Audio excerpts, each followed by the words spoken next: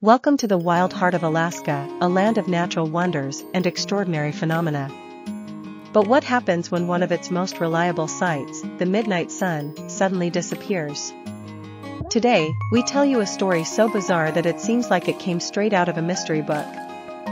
Alaska is famous for its midnight sun, a phenomenon that lights up the sky for 24 consecutive hours during the summer. But one day, in a small village in the north, something unexpected happened. It was June 21st, the day the midnight sun was supposed to be at its peak. But instead of remaining illuminated, the sky darkened as if it were midnight in the dead of winter. For three hours, the village was engulfed in total darkness.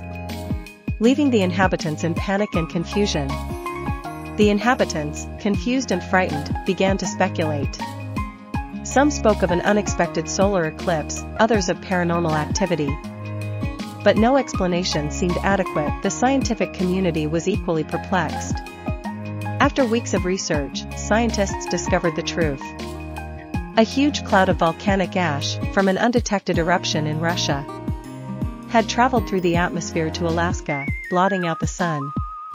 A natural phenomenon, of course, but incredibly rare and unexpected. The midnight sun returned to light the sky, and life in the village returned to normal. But those three hours of darkness will remain forever in the memory of the inhabitants, a memory of the day when even Alaska, the land of the midnight sun, was shrouded in mystery.